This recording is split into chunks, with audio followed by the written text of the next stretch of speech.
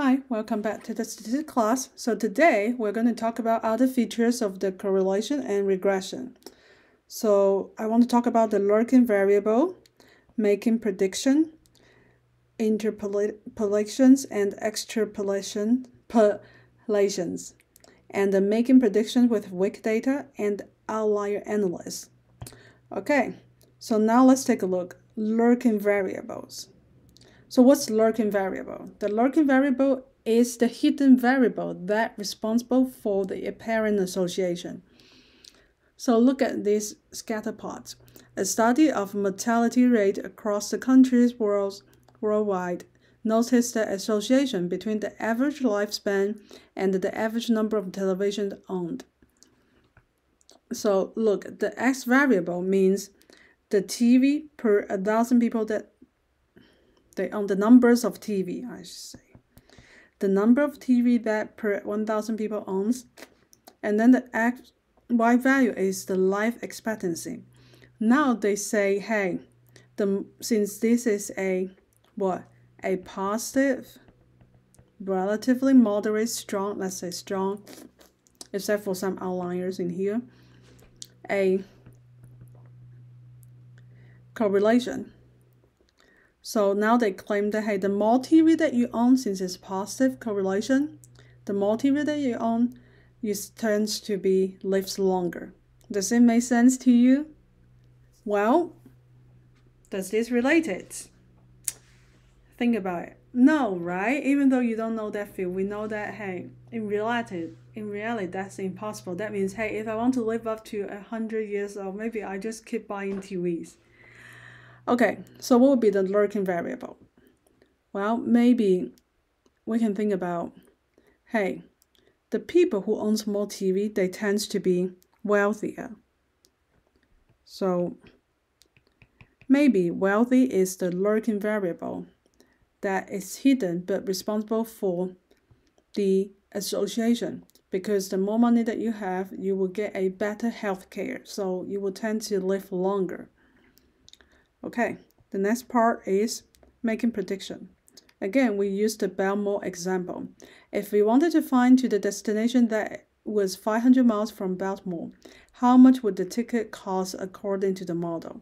So the model is y hat equals to 0.1373 times 500 at 8176. So that's approximately 150 150 and 41 cents. Right? That's how we use the predicting model to predict the price. But if you wanted to fly to Sydney, Australia from Baltimore, which is 9,782 miles, do you think this model would make a good prediction? Well, let's take a look at our model again. So this is our model. So let's take a range. So Sydney is 9,700 miles away from Baltimore. But look at the range. That all the data set we connected, the distance are from what? The lowest one is 189 to the furthest away is 1500. So Sydney, we know that the x value or the x value range is from 189 to 15 15 what let me take a look. I've got 1502 so that's the x value. So sydney is way far out of our data set. So probably no this is not going to make a good prediction of our model.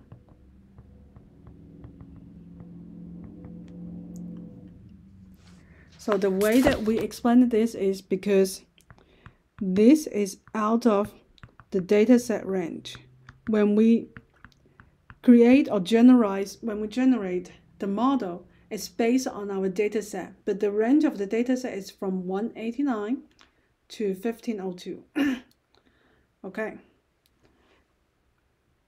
And then if you wanted to fly to the destination that was 10 miles from Baltimore, do you think this model would make a good prediction? No. Again, it's the same reasoning. This is outside of our data set.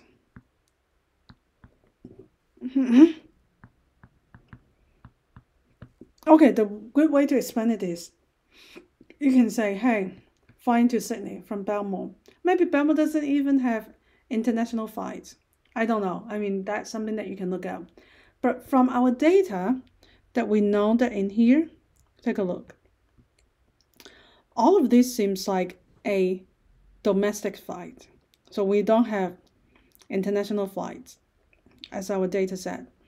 So that is really is a should use a different model to predict because international Wi-Fi they may uh, involve with like custom charges because it's extra longer distance. Maybe the rate that they use is going to be different. Okay, whereas the one that we're trying to find, which is 10 miles away from Belmore. Honestly, if it's 10 miles away, I can just bike. I don't even need to take a take a plane, waiting, go through the security, get there like an hour earlier. Maybe by the time that I get to the airport and boarding, when I bite in, I'm already get there. okay, so now they have another way to explain this phenomenon. It's called interpolation versus extrapolation. Extrapolation. So interpolation is a making prediction within the S value of your data set, which is the first one that we use. If we predicted some flight that is 500 away from Baltimore, okay, yes, we can use this model to predict it because this is under interpolation. Oops.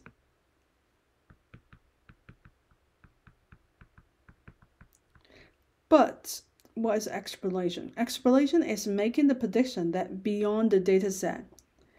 So how do you know that the trend will be continual? So these two example is our extrapolation. So that means we shouldn't use our predictive model. But to be careful, we know that hey, the X range, the data set we connected is from 189 to 1502.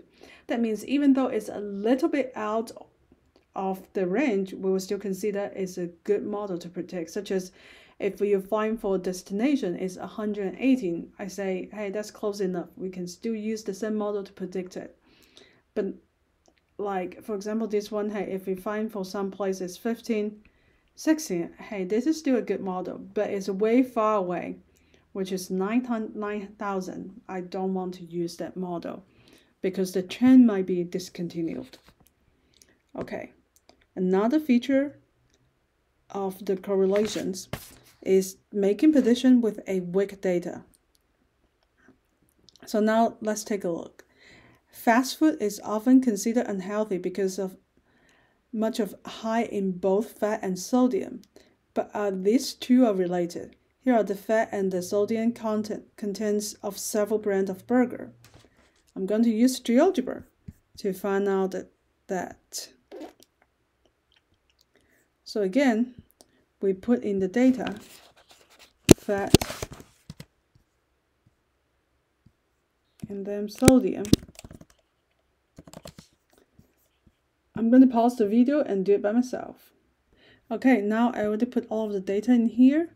Again, you highlight the data that you wanted to generate a scatter plot and then you click on two variable regression. Here we are. So here is our scatter plot. So the first question they ask you is to find the correlation of the least square regression line for this data and describe the association. So from the graph, we can tell that, hey, this is a positive regression, but it's really close to zero, um, but still positive. But we can say, hey, this is quite spread out. And let's take a look at the statistic. Well, R is equal to 0.199. That means this is a weak correlation. Okay, so we can write this down. So R equals to 0.199 is a weak correlation. And uh, also we can take a look at our prediction model from here. Y hat equals to 6.0 8129x plus 913 0.159 so basically we need to find out the regression model. That's the regression model. It's a linear regression model and it's a weak positive correlation. So what's the what's the average fat? Okay, from the statistic, we can find that hey, fat. Remember the first column is our x. I should write that in here. The first column is always our x. The second column is our y. So now take a look. So the average in fact is what? X bar equals to 134.2859 gram. And then number C asks you that what's the average of the sodium, which is the mean of Y. Y bar equals to 11, 11 1138.57. Uh, so this is our Y bar, which is the average of our sodium. So if a burger has 32 grams of fat, how much sodium do we expect it to have? So we plug in, since this is x equal to 13 into our regression model. So our prediction is what? Times 32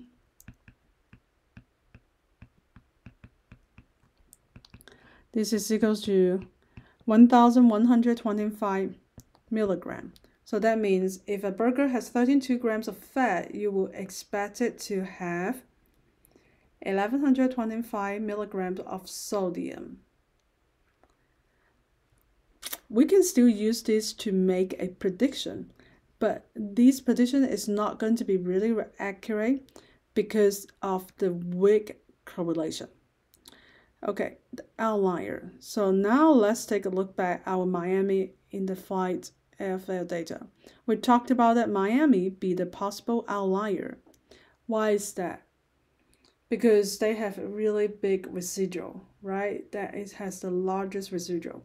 Can you think of any reason to respond to explain the cost of the airfare to Miami? So in the previous class that let's do some review, we found out that the residual of the flight to Miami is I don't remember I should say. I think it's 180 something. Um it's 138, which means from our model the predicted value is 211 and the observe that means in the reality it costs 350 so the difference is which is the residual is 138 so what would be the reason that they cost much higher than the predicted? Well, maybe because from Baltimore and Miami, you don't have straight flight. You need to take a transfer. Maybe that costs more money, or maybe because Miami is a popular destination, so everyone wants to go there. That by the supply and demand relationship, you know, more people wants to go there, the higher price is going to be. So, whatever reason, think about it by yourself. Um, so write down the regression equation and correlation for the data set, including Miami. So which is our original one. Um,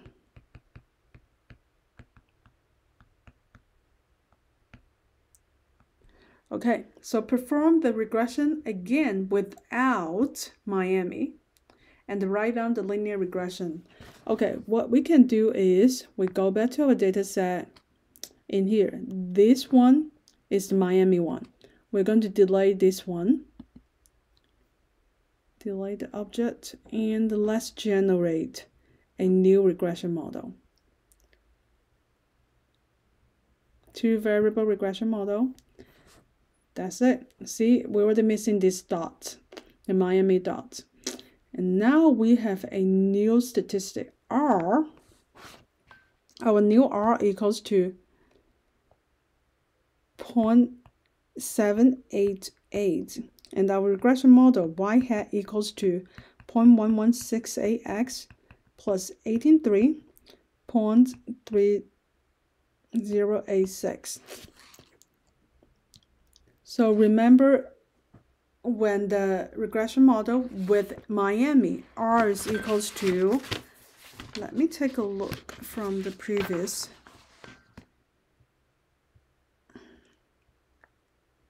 Uh, is, what is it? Oh, it's here. It's 6.6953.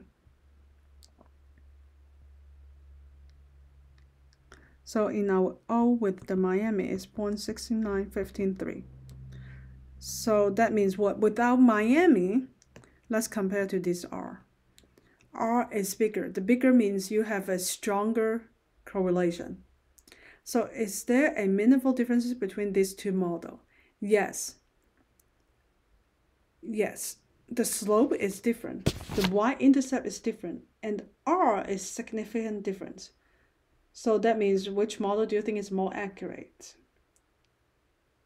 I would say the second model seems more accurate because you have a stronger R value. Okay, should we describe Miami as an outlier? Yes, because without Miami, our second model seems have a strong seems more accurate. So now yes, Miami is the outliers. Okay, so that's it. That's the other feature of the correlation. In next class, we will have more example about the regression model. I'll see you next time.